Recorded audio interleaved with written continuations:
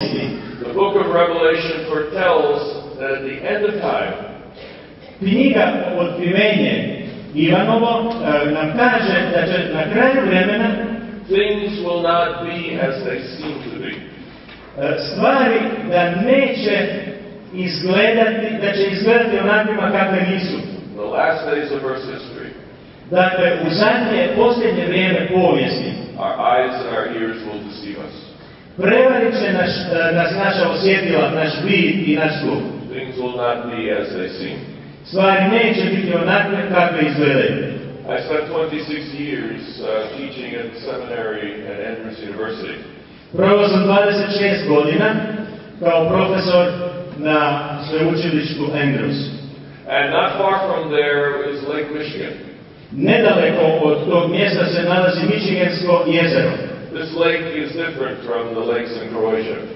To jezero je vrlo različito od vaših hrvatskih jezera. It is actually much bigger than the Adriatic Sea. Uh, u stvarnosti je to jezero veće od Jadranskog mora. And uh, when you stand on the shore of the lake, uh, you cannot see the other side. Kad stanete na obalu tog jezera ne vidite onu drugu stranu. It uh, looks perfectly flat. Izgleda potpuno ravno sve. But things are not what they seem. Međutim, stvari nisu onakve kakve izgledaju. In actual fact, uh, it is curved. A, jer u stvarnosti a, površina nije ravna, nego je e, zaobljena ili zakrivljena. Because the entire earth is curved, it's round. E, Zato što je i zemlja okrugla. But your eyes cannot see it. Međutim, naše oči ne uočavaju tu a, zakrivljenost zaobljenost. Things are not what they seem to be. Stvari nisu onakve kakve ih mi uvijek vidimo. I remember when we bought our first house. Sjećam se kada smo prvi puta kupili vlastitu kuću. And it was the first time my two-year-old daughter uh, saw, uh, was able to have a, a yard with, with grass. I bilo je to prvi puta da je naša dvogodišnja djevojčica imala dvorište, travnato dvorište za igranje. Now, in our apartment uh, where we had lived before, A u našem stanu u kojem smo živjeli do she often saw her father vacuuming the carpet. često je gledala svog oca kako usisava tepih. But she had never seen him cut the grass. Ali ga nikad nije vidjela kako šiša travu. And in the new house, we found a lawnmower that was electric. A onda smo e, pronašli tamo znači jednu kosilicu koja je bila na električni pogon. So you plug it in the, in the garage, Dakle, uključili ste je u garaži, u struju and there's a long, long cord, and you uh, cut the grass. i e, povezana dugačkim kablom, kosilica je mogla kositi travu. And my two-year-old daughter was standing at the back of the house uh, watching me cut the grass. I onda je moja dvogodišnja djevojčica promatrala iz kuće kako ja kosim travu. And she didn't know what I was doing. I ona nije znala šta ja to radim. She was trying to understand. Pokušala je to razumjeti. And finally, her face brightened up. I konačno se njeno lice ozarilo. She knew what I was doing now. Ona je razumjela što ja to činim. And she ran into the house. I otrčala je u kuću. She said, Mommy, guess what? I rekla je, mama, znaš šta? Daddy's cleaning the grass. A, Tata čisti travu. Things are not always what they seem. Stvari nisu uvijek onakve kakve izgledaju, kakvima izgledaju. The Bible tells us that at the end of time, things will not be as they seem. I Biblija nam govori o tome da u posljedku, na kraju vremena, stvari neće izgledati, neće biti onakve kako izgledaju. We will think we understand what is happening, but we will not. Mi mislimo i mislit ćemo da znamo što se događa, međutim nećemo znati. It is interesting that the, the younger generation, I think, understands this. E, Čini mi se da mlađa generacija puno više razumije.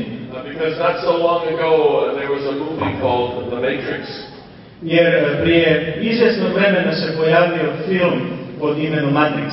And uh, the amazing thing is that the, the theme of the film was the same as the theme of Revelation. I zanimljivo je to da je tema ovog filma zapravo ista tema kao u otkrivenju Ivanovom. And it portrayed the idea that you could live in a world that wasn't real. I ovaj film nam oslikava ideju da možete živjeti u, stva- u svijetu koji nije stvaran. And it asks the question whether everything we experience is just some big computer program somewhere. I tu se postavlja pitanje, jel tako, nije li sve što se vidi samo uh, uh, zapravo jedan kompjuterski software program. At the end of time, it will be like that. Uh, konac vremena će biti nešto slično. Things will, people will think that they experience what is real. Ljudi će pomišljati da oni doživljavaju nekakvu stvarnost, But it will actually be deception. ali u biti riječ je o prijevari.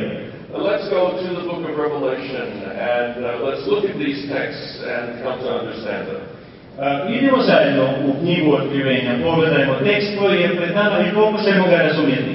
The foundation passage for our study this morning is Revelation 12 through 14. Uh, tekst koji ćemo danas proučavati, osnovni tekst je, nalazi se u otkrivenju 12. do od 12. do 14. poglavlja. And uh, I would be uh, pleased if you have your Bibles open and you can follow because we will look at many texts in a row. I ja bih vas pozvao da imate svoje Biblije i otvorite ih, te da zajedno pratimo mnoge tekstove koje ćemo čitati. And what I would like you to do this morning, I ono na što bih vas pozvao ovog jutra, for just one hour or less, samo za jedan sat. just forget everything you ever learned about Revelation. A to je da zaboravite sve što ste ikada saznali i naučili u otkrivenju. And read it as if you're reading it for the first time. I da čitate ove tekstove kao da ih čitate prvi put. Uh, because there is a story in the book of Revelation that we sometimes miss. Jer se u ovim tekstovima otkrivenja e, prikazuje jedna priča koju mi često ne razumijemo ili promašimo. E, Mi kad čitamo, promatramo simbole koji se nalaze u knjizi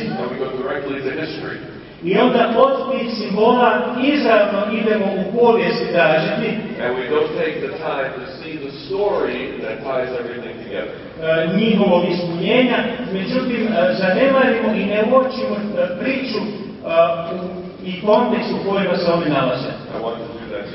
Ovog jutra ja bih želio učiniti samo upravo to. Uh, Revelation 12 through 14 are illustrated here as uh, three uh, boxes. Ovdje na platnu koliko se vidi imamo ilustrirana poglavlja otkrivenja 12 do 14 kao tri okvira. Uh, these three uh, chapters describe a great war that will come at the end of time. E, Ova tri poglavlja opisuju jedan veliki sukob koji će se dogoditi na sačetku vremena. Uh, the text that introduces that is Revelation chapter 12 and verse 17.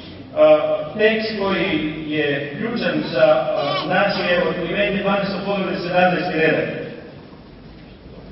koji glasi Tada obuzet gnjevom protiv žene, zmaj ode da vodi rat protiv ostalih iz njezina potomstva, protiv onih koji vrše Božje zapovjedi i čuvaju Isusovo svjedočanstvo.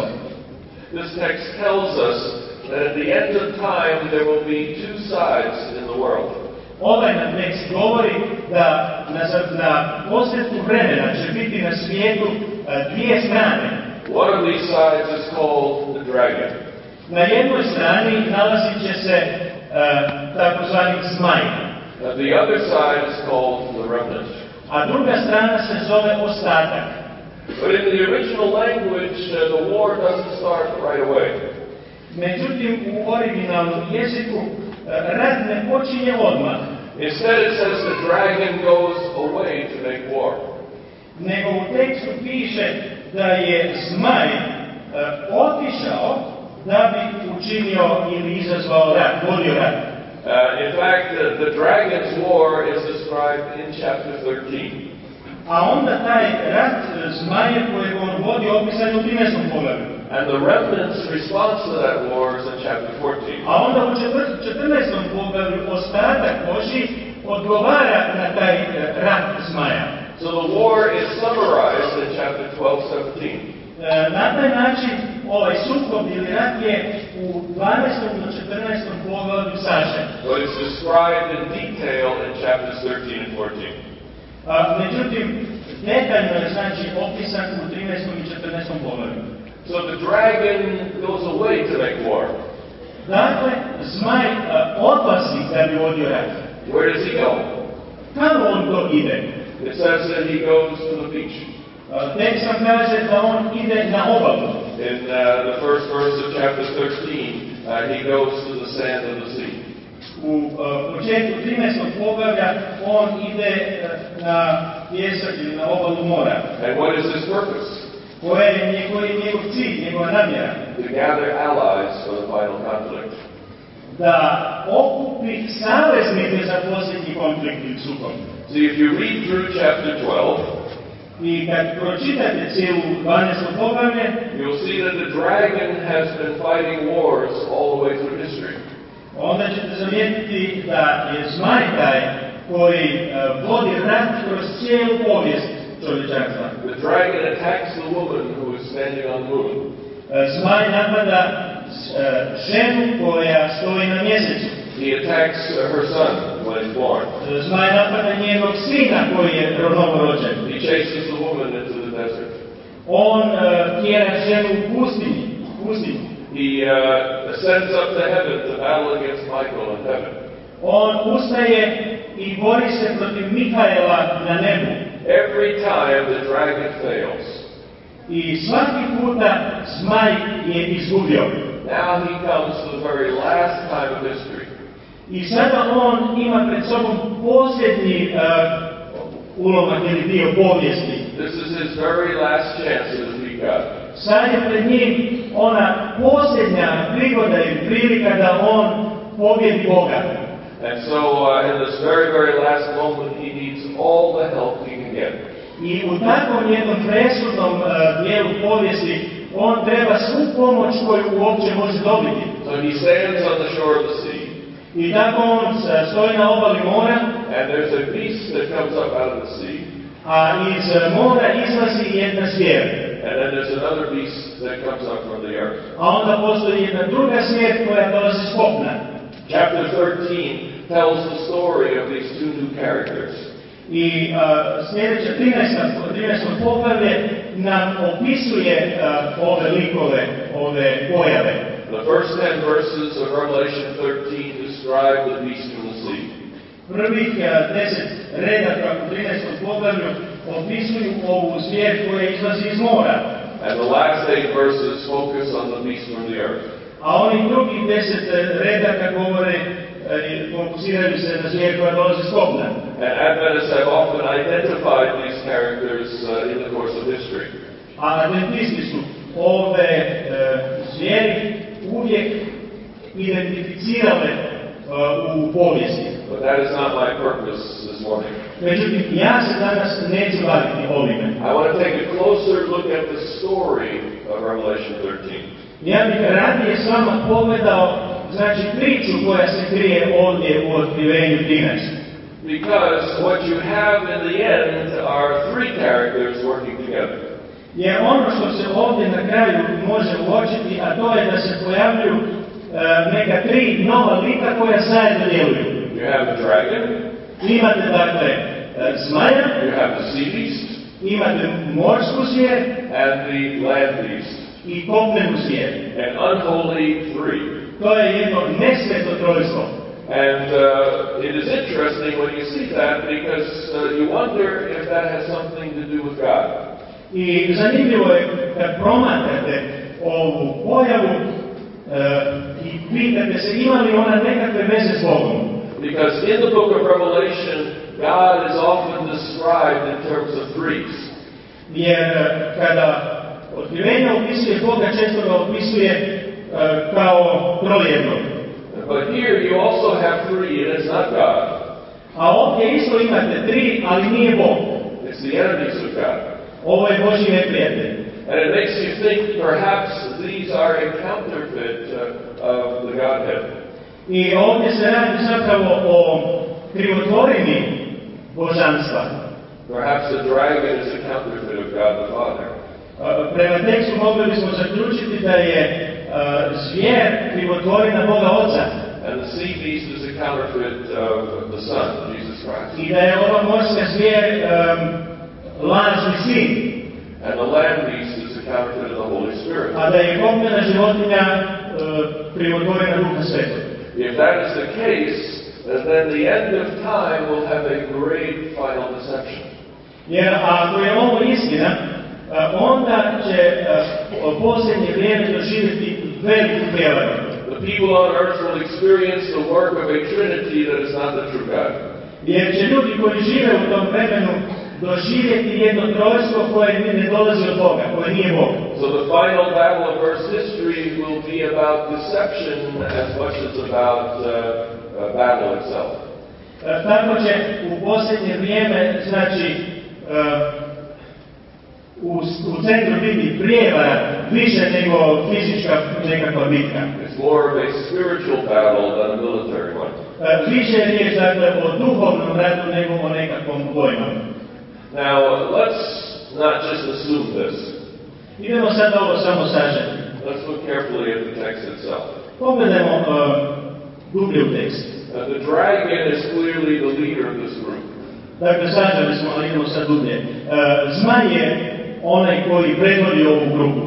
He is the one who has the authority, on ima autoritet, vlast and he gives the authority to the others. i on tu daje drugima. So he uh, would represent uh, God the Father in this trio. I on je Bogu Otcu u ovom triju. Uh, look at the text, uh, Revelation 13, verses 1 to 5. I pogledajmo zajedno tekst u otkrivenju 13, 1 do 5. Here you have an introduction to the beast from the sea. Ovdje imamo uvod i opisanu zvijer e, iz, koja izlazi iz mora. And first of all, it tells us that the beast from the sea has ten horns and seven heads.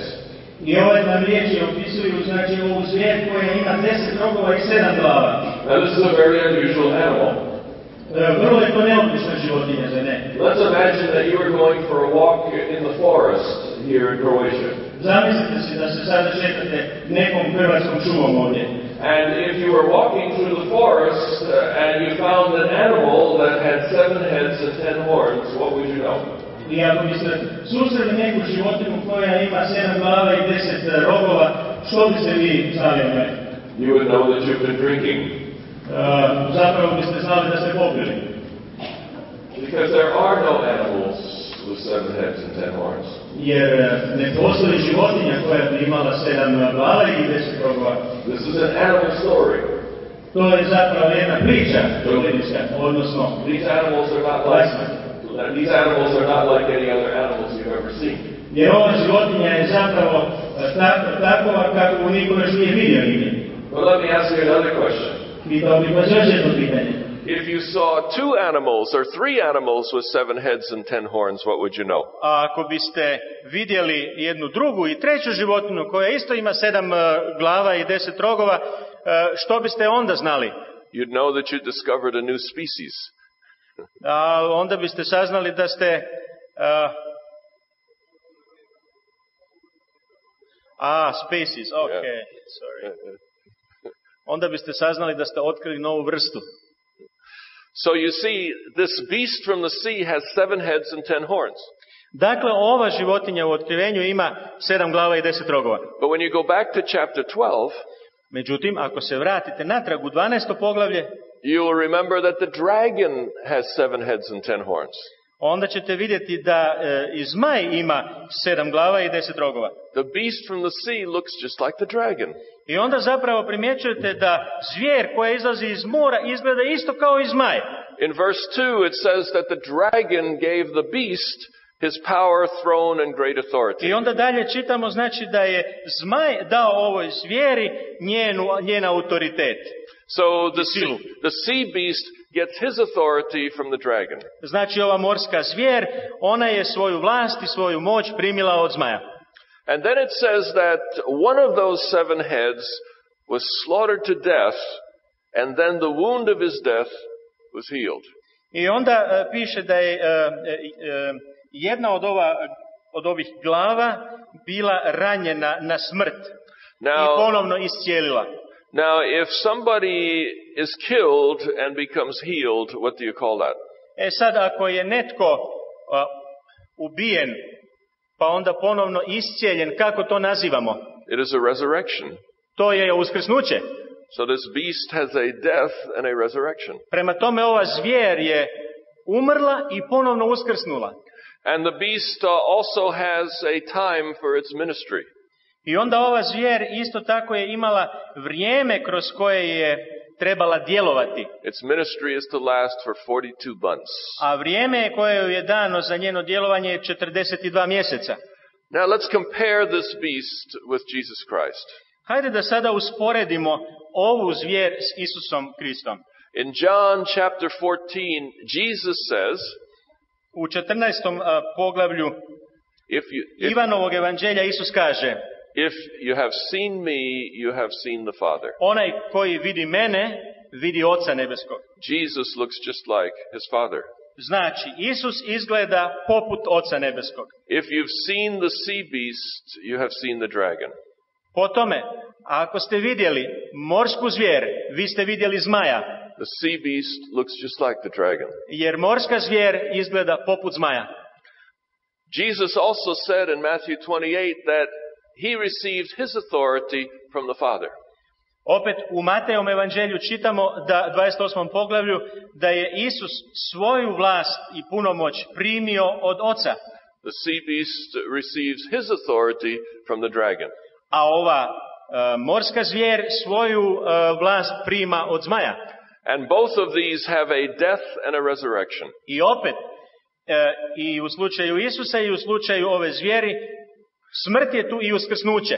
Do you see how the sea beast is a deliberate counterfeit of Jesus Christ? I onda e, uočavate jednu, e, jednu veliku krivotvorinu um, Isusa Krista. The work Ili of, lažnog Krista. the work of the sea beast is to present himself uh, in the place of Jesus Christ. I e, dijelo ove zvijeri je zapravo da sama sebe prikaže kao da je Isus Krist. And here's another interesting point. I onda pronalazimo još jednu zanimljivost ovdje. How long is 42 months? Koliko je e, taj dugačak, taj, to vrijeme od 42 mjeseca? It's three and a half years. To je tri i pol godine. How long was Jesus' ministry? Koliko je trajala Isusova služba na zemlji? Three and a half years. Tri i pol godine. You see, the sea beast is described in the language of Jesus. E, vidite dakle da je ova morska zvijer opisana istim pojmovima kao što je opisan Isus Krist. And it's clearly the enemy of Jesus Christ. I potpuno je jasno da je ova zvijer neprijatelj Isusa Krista. This sea beast is a counterfeit of Jesus Christ, the I- Antichrist. I da je ova zvijer, e, o, morska zvijer um, krivotvorina ili lažni Krist ili antikrist. What about the land beast? A što ćemo reći o onoj e, kopnenoj zvijeri? Uh, let's take a look at the text in Revelation 13, 11 and beyond. Pro- Hajde da pogledamo zajedno otkrivenje 13. poglavlje od 11. redka nadalje. It says this land beast has two horns like a lamb. Ovdje piše da ova druga zvijer ima, je imala dva roga kao u janjeta. Uh, in the book of Revelation, the word lamb occurs 29 times. 20 puta se u knjizi otkrivenja Ivanovog spominje janje. 28 times it clearly refers to Jesus. 28 puta se odnosi potpuno jasno na Isusa Krista. The 29th time is here. A 29. puta se ovdje spominje. There's something lamb-like about this beast. Nešto u ovoj zvijeri postoji što sliči janje- janjetu. In verse 12, it tells us that the land beast speaks in behalf of the sea beast. A, U 12. redku čitamo da ova kopnena zvijer e, uh, govori u ime e, one morske zvijeri. It tells us that this beast from the earth does not speak for himself. Znači ova kopnena zvijer ne govori sama od sebe i za sebe, But he speaks uh, in behalf of the beast from the sea. Već ova kopnena zvijer znači govori u ime one morske zvijeri. And verse 13 tells us that he brings fire down from heaven to earth. I onda e, sljedeći redak nam govori da ona čini da oganj pada s neba na zemlju. Let us compare the land beast with the Holy Spirit. idemo e, usporediti ovu kopnenu zvijer sa duhom svetim. What did Jesus call the Holy Spirit in the Gospel of John? Kako e, sveto pismo u Ivanom evanđelju naziva duha svetoga? He called it another comforter. E, Oslovljava ga ili ga naziva onim drugim utješiteljem. Jesus didn't say the Holy Spirit was the comforter. Isus nije kazao da je duh sveti a, utješitelj, He said the Holy Spirit is another comforter. E, već je on kazao da je duh sveti onaj drugačiji a, utješitelj, druge vrste. You see, the disciples were very depressed uh, at the time of this meeting. E, U to vrijeme Isusovi učenici su bili vrlo depresivni, Jesus said that he was going away, jer im je Isus najavio da on odlazi sa ove zemlje. and they were very upset that they were losing Jesus. I a, oni su bili e, žalosni što će ih Isus napustiti. And Jesus said to them, I will not leave you orphans. A e, Isus im je obećao da ih neće ostaviti jadnima, recimo. I will send you another comforter. Već ću vam ja poslati drugoga utješitelja. Who is the real comforter? A ako on šalje drugoga, tko je onda stvarni e, utješitelj? It is Jesus. To je Isus. Jesus was the one that comforted his disciples. Isus je onaj koji je tješio i hrabrio svoje učenike. But now he promises to send them the Holy Spirit. Ali sada je on njima dao obećanje da će im poslati duha svetoga. The Holy Spirit would be another comforter. A taj duh sveti će biti onaj drugačiji utješitelj ili drugi. It would do the work that Jesus had been doing for them on this earth. On će nastaviti činiti Isusovo dijelo koje je on činio za njih. The Holy Spirit uh, takes Jesus' place here on this earth. I duh sveti zauzima Isusovo mjesto ovdje na svijetu, na So, zemlji. so the Holy Spirit is like Jesus. Prema tome duh sveti je sličan Isusu. Uh, the beast from the earth is lamb-like.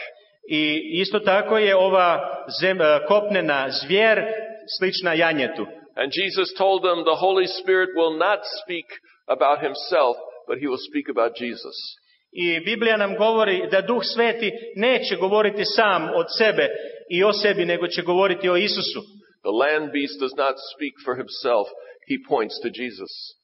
I Isto, he points to uh, the sea beast. know. isto tako, znači, kopnena zvijer ne govori o sebi ni od sebe, nego govori o onoj morskoj zvijeri. So you see, the relationship between the sea beast and the land beast is like the relationship between the Holy Spirit and Jesus. Na taj način je odnos između morske zvijeri i kopnene zvijeri sličan odnosu duha svetog prema Isusu Kristu. And the Holy Spirit, uh, of course, brought fire down from heaven on the day of Pentecost. Isto tako nam je poznato da je duh sveti a, na dan pedesetnice učinio da oganj siđe s neba na ljude. The land beast brings fire down from heaven uh, at the end of time. I ova zvijer kopnena čini da na kraju vremena oganj silazi s neba na zemlju. So at the end of time, things will not be as they seem.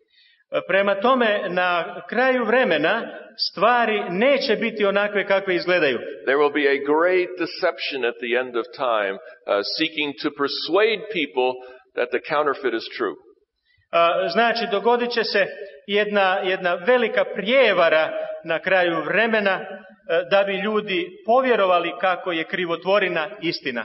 People will see mighty evidence in the world that God is at work. A ljudi na zemlji će e, vidjeti dokaze i to snažne dokaze da Bog djeluje, But it will not be the true God.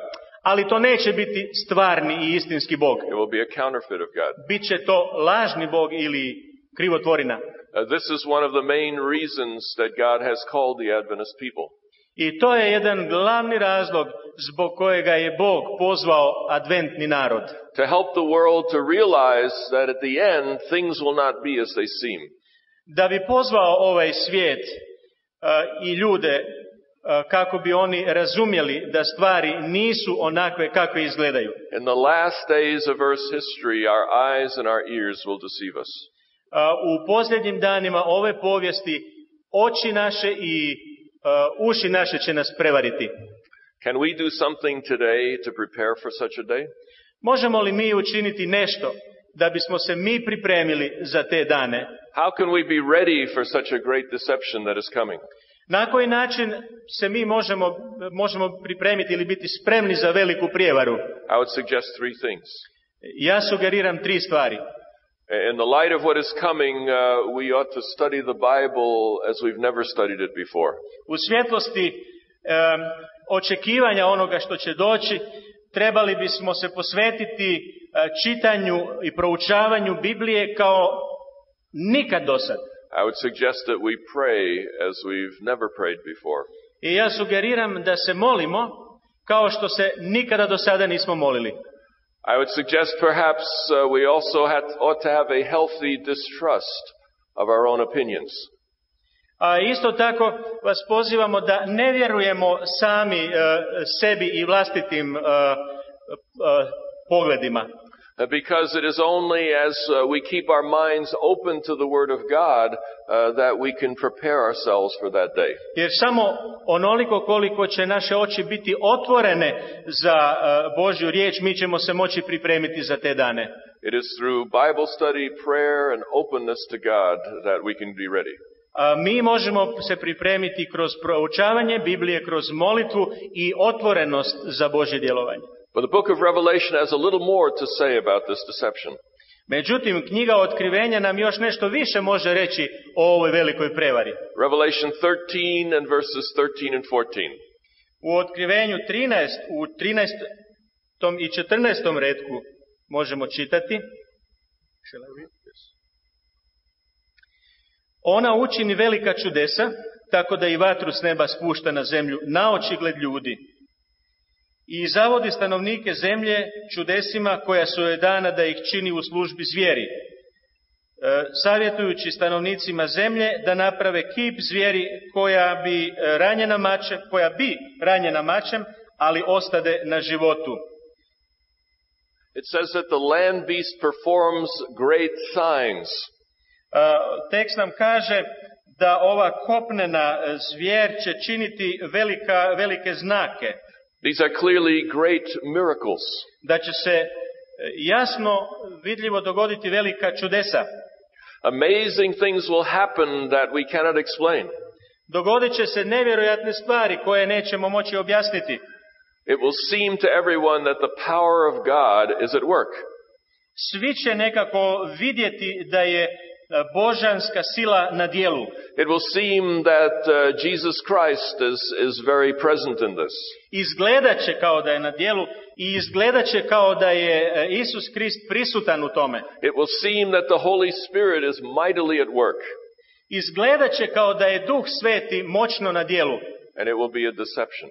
Međutim, bit će to prijevara. It may even seem like a new Pentecost. E, izgledat će to možda kao da je to nova pedesetnica, But it'll be from a counterfeit Holy Spirit. ali će to biti od lažnoga Duha Svetog. I think sometimes we are a little too confident as we approach the end. E, Ponekad mi se čini da smo mi puni samopouzdanja kad se približavamo kraju. But the reality is that our eyes and ears will tend to deceive us. Međutim, e, stvarnost je ova da će nas prevariti naše, naša osjetila. And our only safety is in the Word of God. I da je jedina sigurnost u riječi Božjoj. There's one more text that deals with the end time deception in Revelation. Ima još jedan tekst koja se, koji se bavi posljednjom prijevarom, a nalazi se u otkrivenju Ivanovom. Revelation 16:13. U 16. poglavlju, to je 13. redak. U to opazih gdje iz usta zmaja, iz usta zvijeri i iz usta lažnog proroka izlaze tri nečista duha kao žabe. Here are three characters once again. Ovdje ponovno vidimo tri karaktera, tri lika. The dragon, the beast, and the false prophet. To je zmaj, to je zvijer i to je lažni prorok. Who are these? Ko su ovi, ovi likovi? Uh, these, I think, are the same three that you had in chapter 13. To su, mislim, ona, ona ista bića koja su opisana u 13. poglavlju. Uh, once again, you have a dragon. Jer u 13. poglavlju, kao i ovdje, ponovno imamo zmaja. Instead of the sea beast, it is simply called the beast. Umjesto e, morske zvijeri jednostavno piše zvijer. And instead of the land beast, uh, it mentions the false prophet. A umjesto ove kopnene zvijeri ovdje se spominje lažni prorok. It is the false prophet, the false Elijah that brings fire down from, uh, from heaven to earth. lažni prorok, lažni Ilija koji čini da oganj silazi s neba. So uh, you see here a counterfeit not only of the Trinity, uh, but also uh, this, this is a counterfeit of the Trinity. A ono što ovdje vidimo je potpuno krivotvorenje trojstva, e, svetog trojstva, odnosno lažno sveto trojstvo. But notice what that Trinity does. Zapazimo i ono što ovo trojstvo čini. It sends out three unclean spirits like frogs. Ono odašilja e, tri nečista duha koje izgledaju poput žaba. Now, why do frogs come into the story at this point? E, Iz kojih razloga se na ovom mjestu sada žabe pojavljuje u priči How, otkrivenja? how are we to understand these frogs? I na koji način možemo razumjeti ove žabe? Throughout chapter 16, uh, the story builds on the plagues of the Exodus. A, Kroz cijelo 16. poglavlje se pojavljuju zla koja e, udaraju ovaj svijet, a zapravo su, su ona uzeta iz e, izlaska izraelskog iz Egipta. Uh, perhaps you remember the story. Vi se sigurno sjećate e, ove, ovog događaja izlaska. Uh, Pharaoh, the great king of Egypt, is sitting on his throne, Veliki egipatski faraon sjedi na svome prijestolju, and Moses and Aaron come in and challenge him. a e, Mojsije i Aron dolaze pred njega i izazivaju ga. And he says, Prove that you are speaking for God. I on kaže, dokažite vi da govorite u Božje ime. So Aaron throws down his walking stick, I onda Aron baca svoj štap na zemlju. and immediately it turns into a snake. I štap se pretvarao u zmiju. And Pharaoh is screaming in fright. A farao je e, e, vrisnuo. I hate snakes, he says. E, mrzim zmije, rekao je. And he's very frightened by this. I on se uplašio toga. But then his magicians take their walking sticks, throw them down, and they become snakes. međutim, njegovi vračari su bacili svoje štapove i učinili ista čudesa zmije. And now Pharaoh says, I understand. I onda je faraon rekao, da, da, razumijem. Moses brings power, A, Mojsije ima, doneo je moć sa sobom, but we have power too. ali i mi imamo silu. It's power against power. I tu je sila nasuprot sile. We can handle this. To ćemo mi već riješiti. And then uh, Moses says, okay, watch this. A onda je Mojsije bio poslan i rekao, gledaj sada ovo drugo. And he turns the water of the Nile into blood. I pretvorio je vodu rijeke Nila u krv. Once again, Pharaoh is terribly frightened. I faraon je ponovno uplašen. But then his magicians take a bowl of water and turn it into blood. I ponovno njegovi mađioničari, odnosno vračevi, pretvaraju vodu u krv. And once again, uh, Pharaoh realizes, okay, power against power. I ponovno, faraon je shvatio, tu je sila protiv sile. We can manage this situation. Već ćemo mi to dovesti do kraja. But then Moses brings the plague of frogs. A Međutim, tada se događa da Mojsije izaziva pošast žaba. And uh, the magicians also produce frogs. I, međutim, dogodilo se da su i vračevi s- proizveli ili stvorili žabe. Do you see what was happening in the story? Ali što se onda događa u ovom izvještaju? The challenge for Pharaoh was uh, who speaks for God? E, e, Dakle, izazov je bio sad za faraona razumjeti ovdje e, kroz koga Bog govori u stvarnosti. Everything that Moses did to show that he was speaking for God, Sve ono što je Mojsije učinio da bi pokazao da govori u Božje ime, Pharaoh's magicians copied it. faraonovi vračari su kopirali, They counterfeited it. krivotvorili su. And as a result, uh, Pharaoh was deceived. I kao rezultat toga je e, prijevara, faraon je bio prevaren. He believed he could ignore the God of Moses. I faraon je mislio da onda može ignorirati Mojsijevog Boga. But here's the interesting piece to the story. Međutim, tu sad nalazimo važan e, podatak za našu priču. There were ten plagues. Bilo je deset e, tih nevolja ili zala koja su pogodila Egipat. Eight more plagues followed the frogs. Nakon žaba još ih imamo osam, But from that time on, ali od ovog vremena nadalje God did not permit the magicians to counterfeit anymore. Bog nije dozvolio da nastane još jednom nekakva krivotvorina. In other words, the plague of frogs was the last deception in Egypt. Drugim riječima, ova pošast od žaba je bila posljednja prijevara u Egiptu. That's why there are frogs here in this text. I iz tih razloga su žabe ovdje u ovom tekstu. They represent the last deception of Earth's history. Ove žabe predstavljaju posljednju prijevaru u povijesti čovječanstva. Who are, who are these frogs? Tko su ove žabe? Verse 14. U 14. redku mi ćemo pročitati. e, To su uistinu proročki duhovi koji proizvode znakove i koji odlaze kraljevima cijeloga svijeta da ih skupe za rat velikoga dana Boga svemogućega. It says that these frogs are the spirits of demons. Ovdje je na- e, čitamo da su ove žabe demonski duhovi. What is a demon? Što je to ili tko je to demon? According to the New Testament, it is a satanic angel. E, Sukladno Novom Zavjetu, demon je sotonski anđeo. Demons are angels that followed Satan from the beginning. E, Demoni su anđeli koji slijede Sotonu od samog početka. So when the unholy trinity sends out three frogs, what are they sending? E, Kada u ovom slučaju sveto trojstvo šalju žabe, koga oni šalju? They are sending out three angels to the world. Oni šalju tri anđela u ovaj svijet. Were there any other angels in the book of Revelation? Imamo li mi nekih drugih anđela u knjizi otkrivenja? In Revelation 14, you had three angels giving the last message of God to this earth. U e, 14. poglavlju otkrivenja Ivanog imamo e, tri anđela koja Bog šalje kao vjesnike ovom svijetu. So you have matching pairs in Revelation. I onda vi ovdje imate suprotne parove u otkrivenju.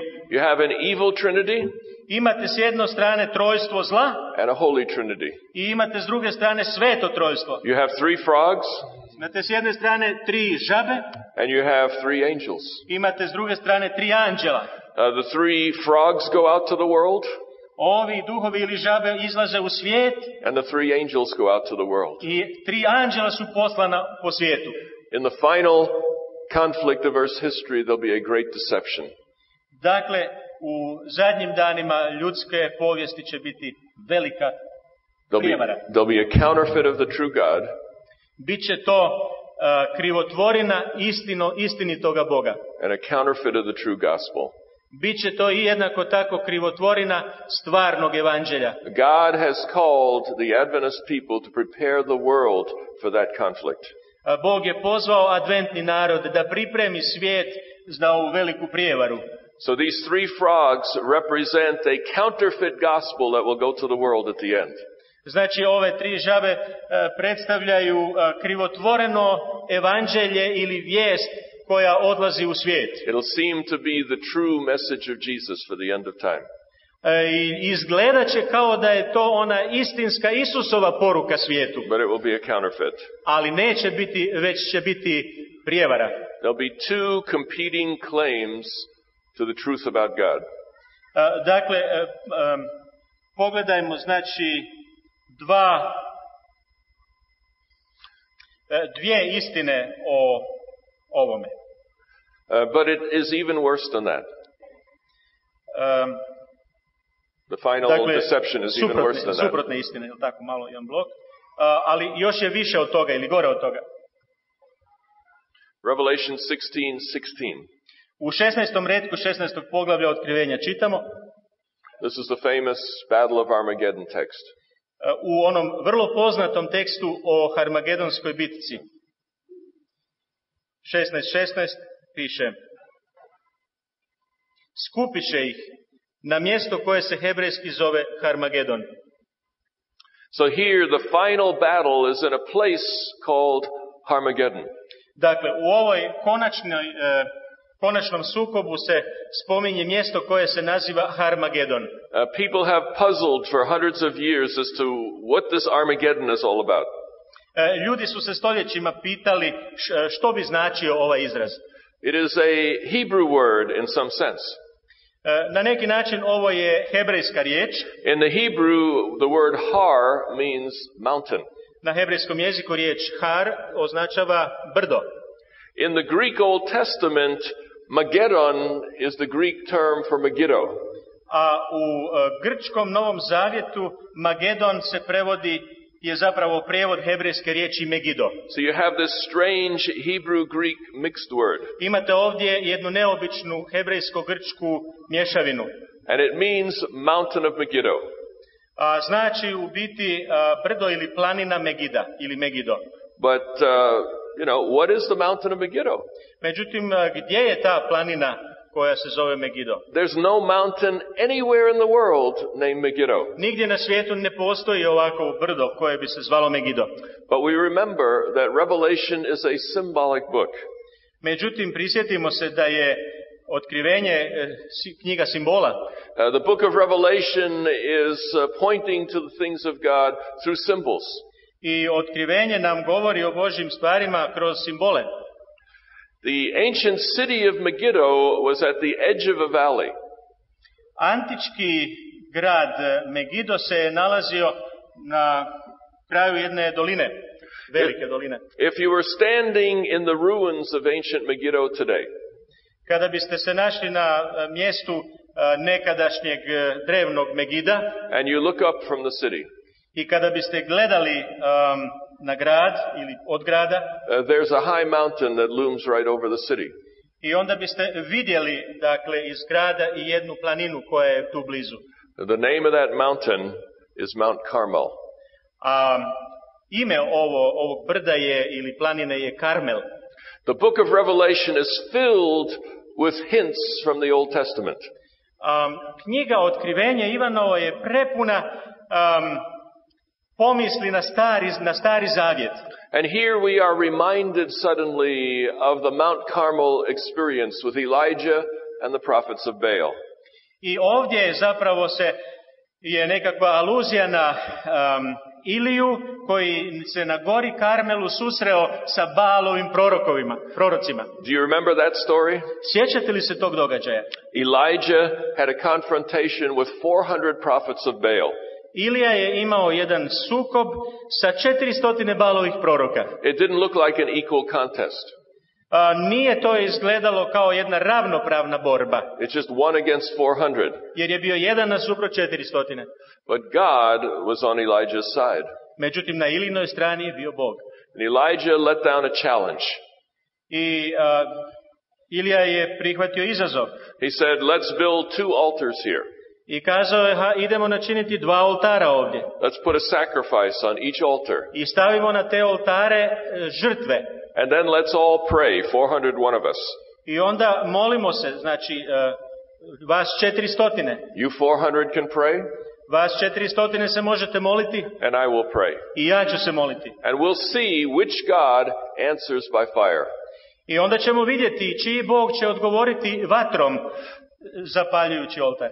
Uh, Elijah said that God, the true God, would demonstrate his presence by fire from heaven.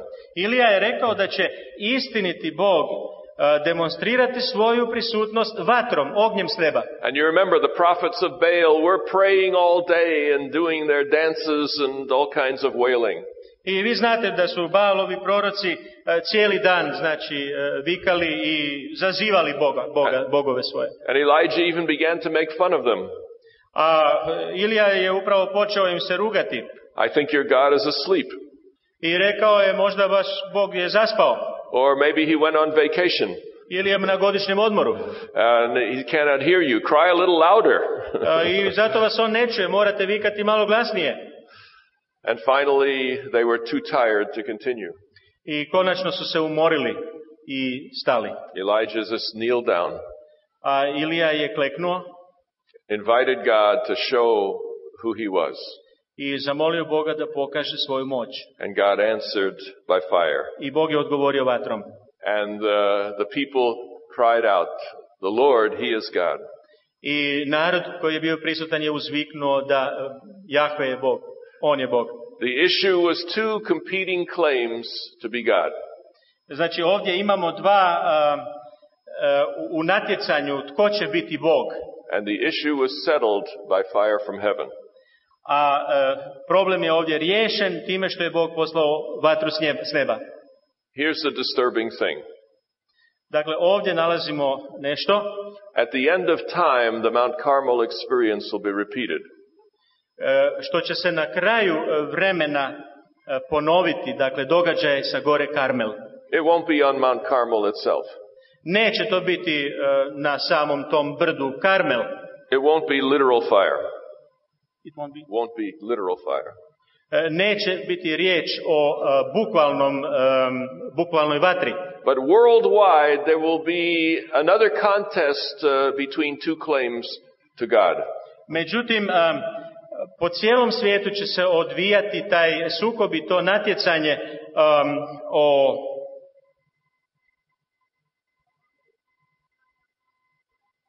tko je pravi Bog. Baš vam hvala. Uh, the, the contest of Mount Carmel will be repeated in some worldwide sense. Znači, ovaj sukob i ovo natjecanje će se na neki način ponoviti na cijelom svijetu. But here's the problem. Međutim, ovdje imamo jedan problem. At the end of time, there'll be one difference. E, postojeće jedna razlika u onome što će se događati na kraju vremena. Revelation 13:13. U 13. redku otkrivenja Ivanovog, u 13. poglavlju, je tako, 13.13 piše Ona čini velika čudesa, tako da i vatru s neba spušta na zemlju na očigled ljudi. At the end of time, Na kraju vremena fire will settle the question again. ponovno će oganj riješiti problem. But this time, the fire falls on the wrong altar. Međutim, ovaj puta vatra pada na pogrešni oltar. In other words, there will be a demonstration at the end of time that the counterfeit is true. Znači, na kraju vremena bit će jedan, jedno dokazivanje da je ona krivotvorina istinita. This will be a very challenging time for the people of God.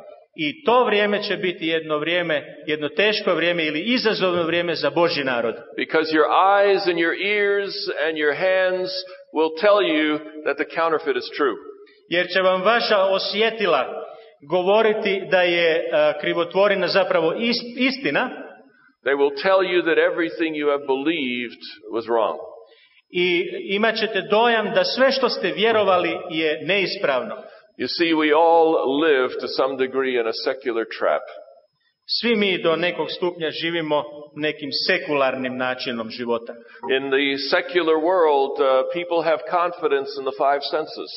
A u sekularnom svijeti ljudi, e, ljudi imaju povjerenje u svojih pet čula. People say, who can you trust? I kad se ljudi pitaju kome možeš vjerovati What can you trust? ili u što možeš vjerovati, I'll trust what my eyes can see. i ljudi će kazati i ja vjerujem ono što moje oči vide. I'll trust what my ears can hear. I ja vjerujem onome što čujem ušima svojim. I'll trust what I can touch, taste, and smell. Dakle, vjerujem onom što mogu dotaknuti, pomirisati i tako dalje. The, definition of a secular person is someone who trusts in the five senses for truth. A, ako definiramo sekularnog čovjeka, on će znači um, vjerovati ono što može svojim osjetilima doživjeti. The problem is in today's world you cannot see, hear, or touch God.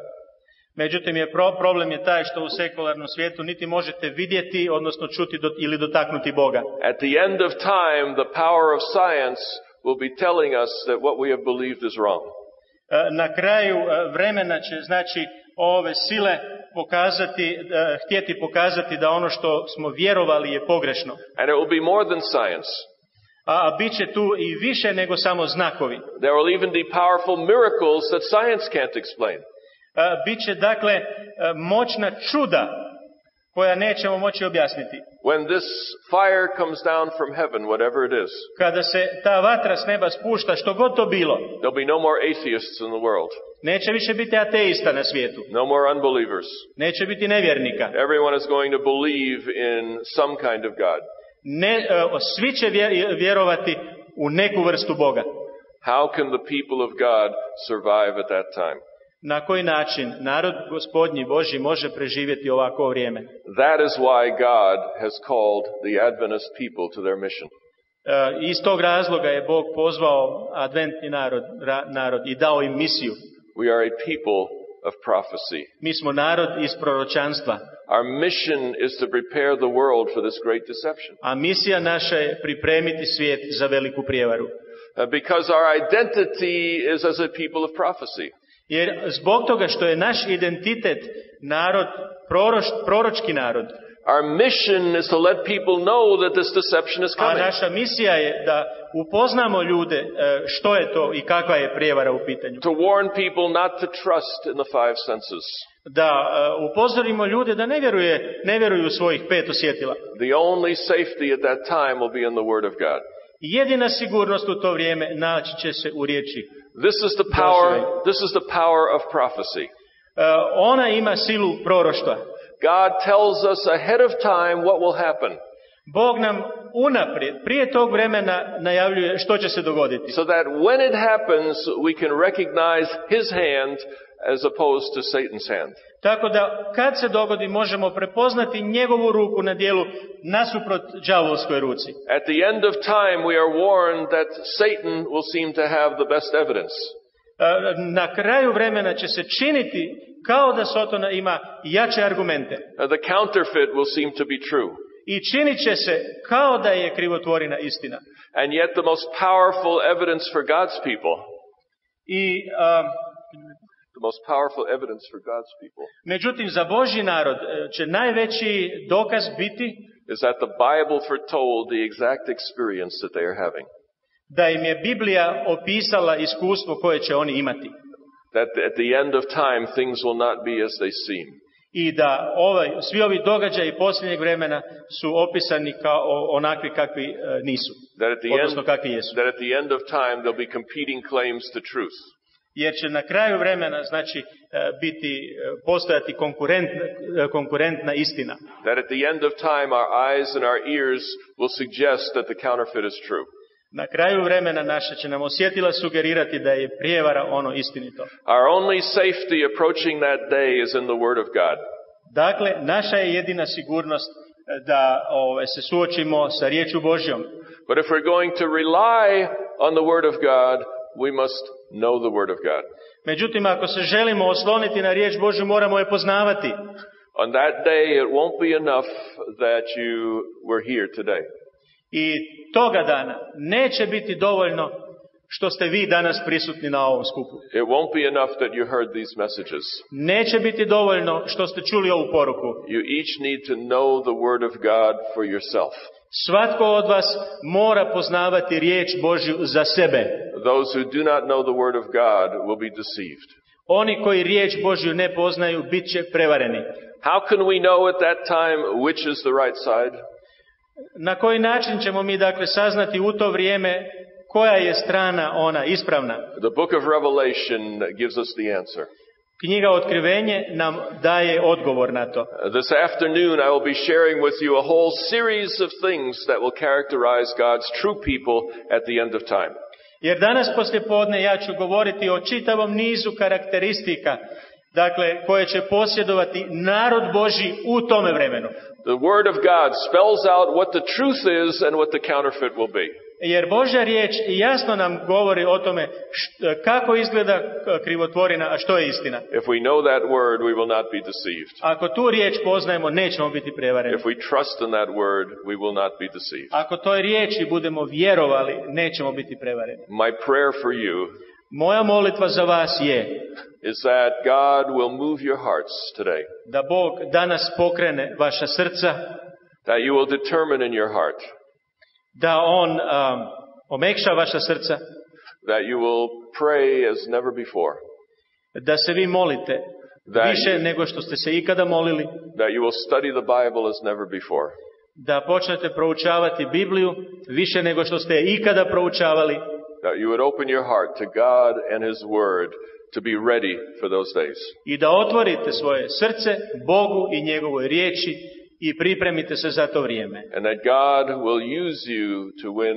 many, many people uh, before that day. I da vas Bog upotrebi da za njega zadobijete mnoge ljude prije tih dana. So that as many as possible will not be deceived.